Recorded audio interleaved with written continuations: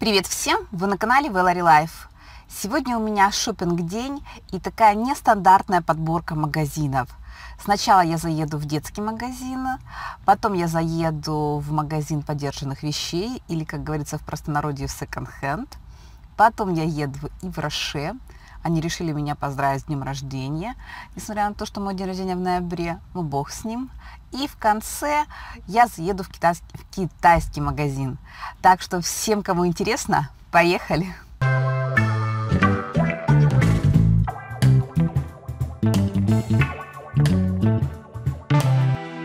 В детский магазин я сегодня заехала для того, чтобы купить палку-прыгалку, не знаю, как это правильно называется по-русски, по-французски это батон сутер. Быстро определившись с выбором, я еду дальше, и следующий магазин это Second Hand.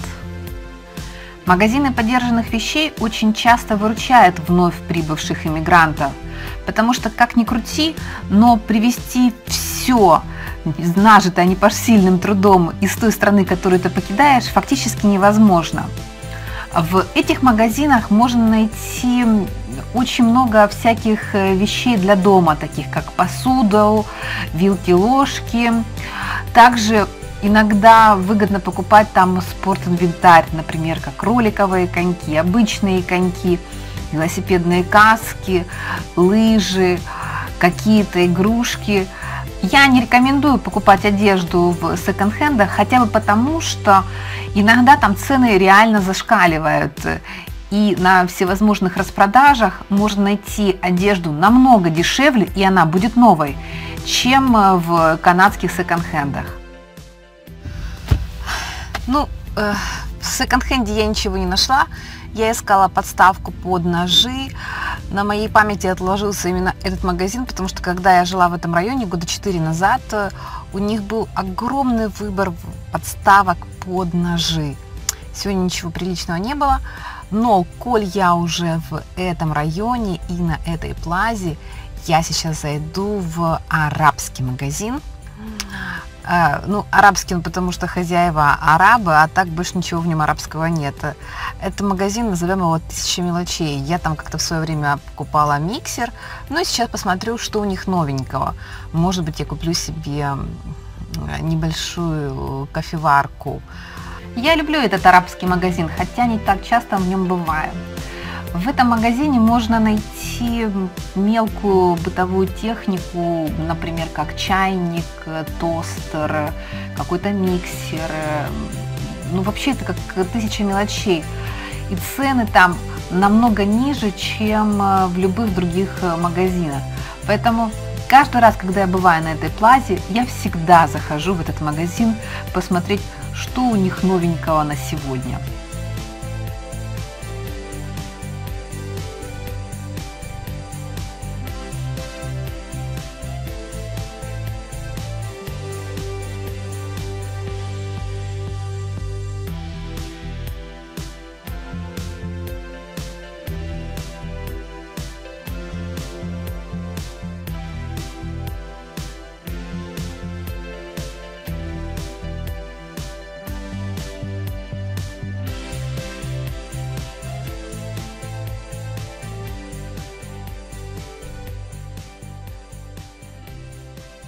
Ну вот и все, я уже побывала в Варше и, положа руку на сердце, дернул меня черт.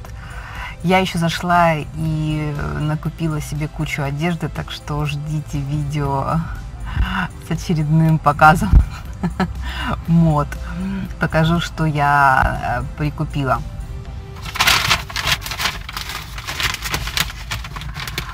У Ивраши, как я сказала, эм, я должна была получить подарок э, с мнимым днем рождения – но для этого мне нужно было что-то купить. Я купила вот такой лак э, для ногтей в цвете Bois Sacré, в цвете 102. И вот такой эм, э, блеск для губ. Он, знаете, такой нейтральный на губах получается. Ну, а в подарок я получила скраб для тела. Я специально сейчас показала, потому что об этом нет смысла делать видео, всего лишь три продукта. А вот видео об одежде я сделаю. Много интересных вещей, на мой взгляд. Так что подписывайтесь, чтобы не пропустить.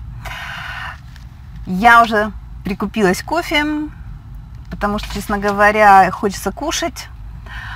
И сейчас я еду в китайский магазин. Боже, я 150 раз себе говорила не ехать на голодный желудок э, в, э, в магазин продуктов, но вот так получается, что еду. Э, заодно и сниму, что там. Я планирую там набрать кучу зелени, может быть что-то... А, я хочу креветки. Ну, короче, поехали, посмотрим, что там есть.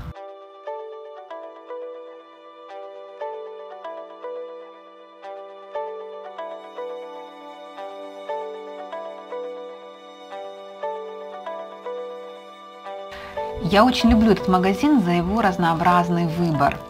Здесь очень много овощей и фруктов, и цены почти что всегда ниже, чем в обычном магазине. Но, положа руку на сердце, наверное, 50% э, овощей и зелени, которые представлены в этом магазине, я вижу первый раз и не знаю ни как их готовят, ни как их едят.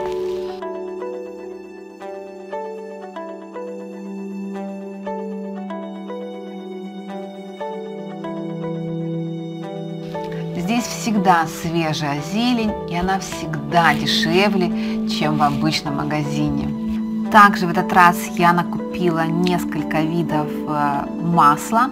Я купила арахисовое масло, только не сладкое, а жидкое арахисовое масло.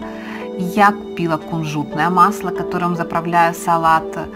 Также я купила масло виноградной косточки. Также у них очень часто скидки на всевозможные йогурты.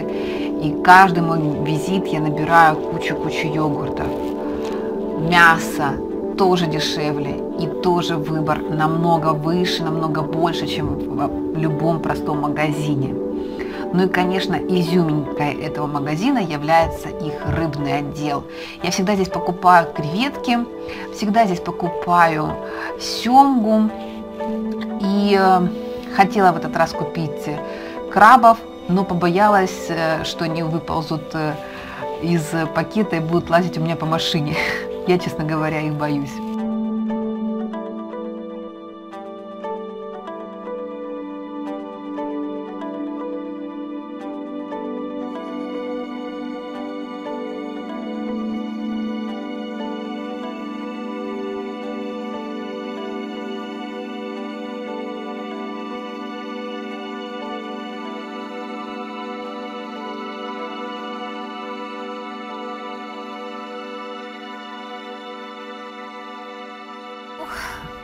Ну вот и все.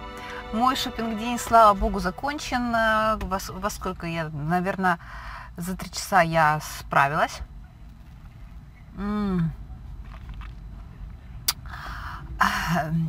Что могу сказать? Накупила всего, чего хотела в китайском магазине. Ехала за креветками и купила креветки. Приставала к китайцам, как они готовят синих крабов. Они мне рассказали, оказывается, крабов они не варят, они их готовят на пару. У меня такой большой проварки даже нет. И в среднем на человека, на женщину, скажем так, на порцию три краба. краба. Ну, наверное, в следующий раз попробую. Я, честно говоря, не знаю, мне страшно даже. Вот. Так что буду с вами прощаться. Если вам было интересно, то ставьте пальчики вверх, я буду понимать, что вам такие видео нравятся. Если нет, ставьте пальчики вниз, я также буду понимать, что вам такие видео не нравятся. Все, мои дорогие, не пропустите мое следующее видео о покупках. А,